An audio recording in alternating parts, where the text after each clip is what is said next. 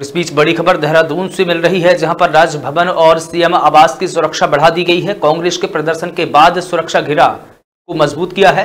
राजभवन और सीएम आवास के आसपास में धारा 144 लागू कर दी गई है। राजभवन और सीएम आवास के रास्तों में बैरिकेटिंग भी कर दी गई है। महँगाई और बेरोजगारी के खिलाफ में कांग्रेस ने किया था प्रदर्शन। इसी को देखते हुए राजभवन और सीएम आवास के आसपास धारा एक लागू कर दी गई है।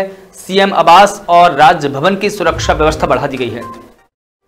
बता दें कि कांग्रेस के प्रदर्शन के बाद सुरक्षा घेरा और भी मज़बूत किया गया है। राजभवन और सीएम आवास के आसपास में धारा एक लागू कर दी गई है। राजभवन और सीएम आवास के रास्तों में बैरिगेटिंग भी कर दी गई है। महँगाई और बेरोजगारी जैसे तमाम मुद्दों को लेकर कांग्रेस ने आंदोलन किया था और उसी को देखते हुए सीएम आवास और राजभवन की सुरक्षा व्यवस्था बढ़ा दी गई है।